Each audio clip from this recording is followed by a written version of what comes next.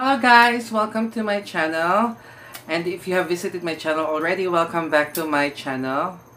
So I hope you have subscribed already. Charot lang.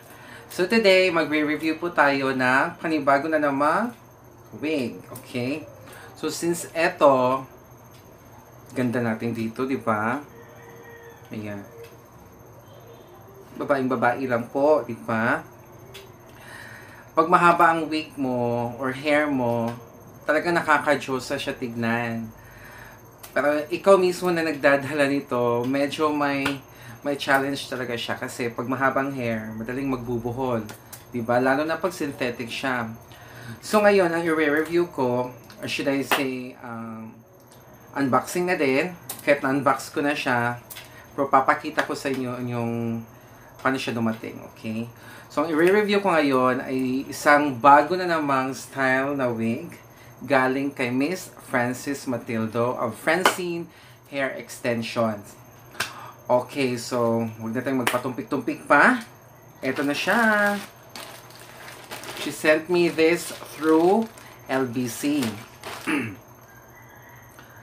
Pag dito ka lang sa Philippines, madali lang siyang dumating. Pag in-order mo siya within a week, probably within that week din siya dadating. Okay. So, ganito siya nung dumating. Ayan. Ayan. Kinuha ko na siya galing dito sa LBC na plastic to.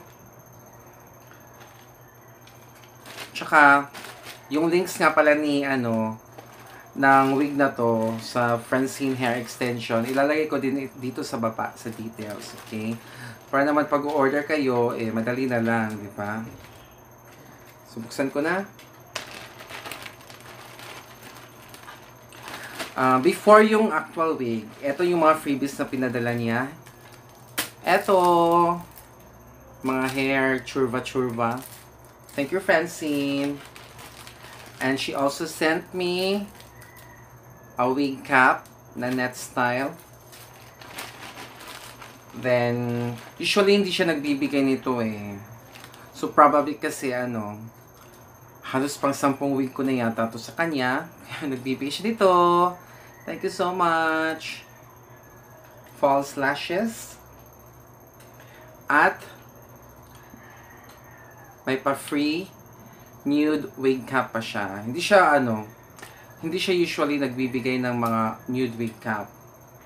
So, para sa mga ano lang yon mga special charot ng mga clients niya. Okay. So, now we'll go to the main event. Ito siya. Ito yung wig, ang yung wig. Nakalagay siya sa net. Tapos, may ano siya. May parang ganito sa looban to keep it in shape. At ito yung aqua wig niya. Wow, o oh, di ba? Ang iksi lang. Parang pag ganitong style ng buhok, hindi siya nawawala sa uso eh. So, pakita natin yung wig, uh, yung cap construction niya. Ayan.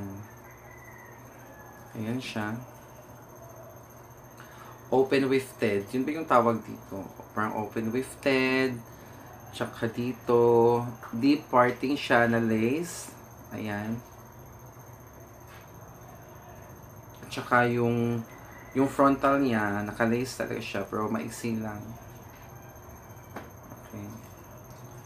So, ayan. Lalagay ko yung balat ko doon, ano, sa parting niya. Oh, di ba? Plakadong plakado. O, ano. Ang ganda, di ba? Kailan ito ay, ano, uh, side parting to, eh. So, kung gusto niyo siyang i-ano, i-center, pwede naman siguro hilahin sa ano, gitna. Tsaka may baby hair, o oh, ang dami. Tsaka yung color nito, yan. Magkasing kulay pa. Parang magpapagupit lang ako nito, di ba? Parang ano siya, parang brown na blonde na chestnut brown pang tawag dito.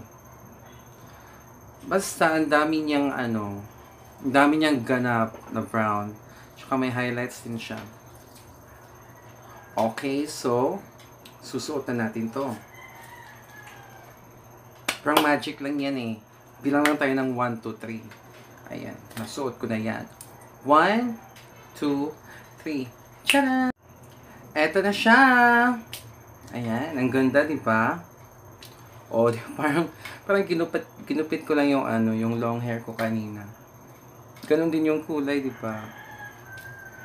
Nag-iba lang yung parting niya, naka-side na ito kayo. So, tignan mo yung naman yung ano, yung baby hair niya.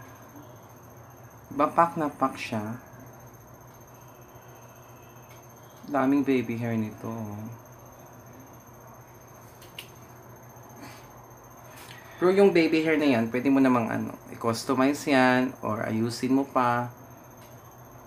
Plus mag para ano, pas magmukhang natural talaga siya. Yun yung party niya.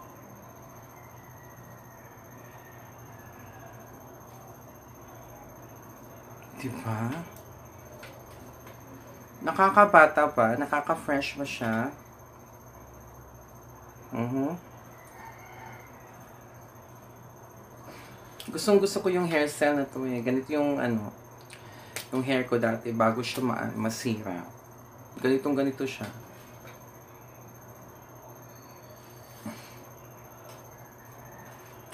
Pwede nyo itong isuot kahit saan, kahit daily. Kahit nasa bahay lang kayo, pwede nyo ito isuot. So, may, may problema sa hair nila, ito yung solution doon. Diba? Hindi siya mabigat, tsaka mad- madaling i-manage. Diba? At saka napaka-natural niya. Tignan nyo yan, oh. Very natural. Kasi nga, Futura fiber ang gamit nito.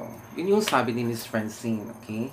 Thank you, Miss Francine, uh, Francine for this. Yan? So, kung gusto nyo ano, mag-avail ng wig na to, lalagay ko yung link ah, ng ng Facebook ah, page ni ano ni Miss Franc- Francis sa baba, okay? From Francine Hair Extension. Ang ganda niya, di ba? So, that's it guys. Thank you so much for watching. I hope na may naitulong naman ako sa inyo or may natutunan kayo sa video ko ngayon. And also, shout out to Miss Francis. Thank you so much. And also, yun nga, if you want to order, lalagay ko yung link sa baba. And then, thank you so much. And if you like this video, please give it a thumbs up, a like. And then, please to subscribe if you haven't. And also, click the notification uh, bell icon for ano, update sa mga gagawin ko pang videos tulad ito na mga wig reviews, perfume reviews. So I hope you guys like it. Thank you so much guys for watching. Have a nice day.